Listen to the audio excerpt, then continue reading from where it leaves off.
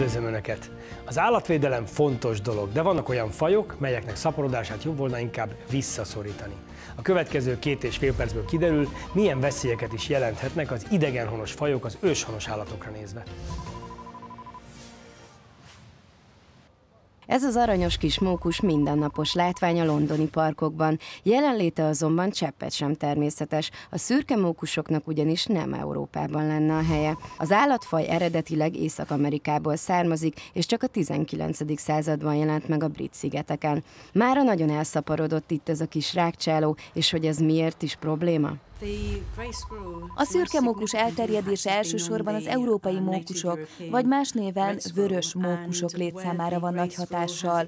Ahogy ugyanis a szürke mókus szaporodik az Egyesült Királyság területén, azzal párhuzamosan csökken a vörös mókusok száma. A két fajta folyamatos harcban áll egymással, harcolnak az élelemért, és ennek az áldász küzdelemnek sok vörös mókus esik áldozatul.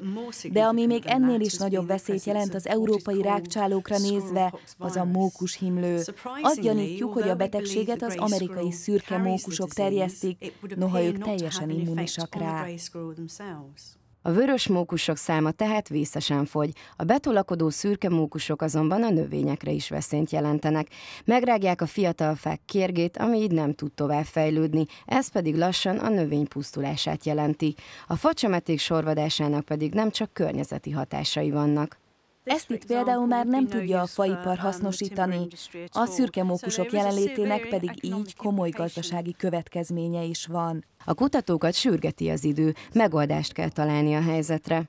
Ugyan vizsgáljuk annak a lehetőségeit, hogyan lehetne szabályozni a szaporodásukat. Tudjuk, hogy ettől még nem tűnnek el a szürke mókusok. Az egyetlen megoldás az lenne, ha egyszerűen eltávolítanánk őket, és ennek az a módja, hogy elfogjuk az összes példányt. Az öreg kontinens ökoszisztémáját tehát nem csak az ember veszélyezteti. A szürke mókusok csak egy a számos Európában megtelepedő idegenfaj közül, melyek veszélyt jelentenek a térség törékeny természeti egyensúlyára nézve. Ráadásul, ahogy az amerikai szürke mókus példáján keresztül is láthattuk, a problémának gazdasági hatása is van.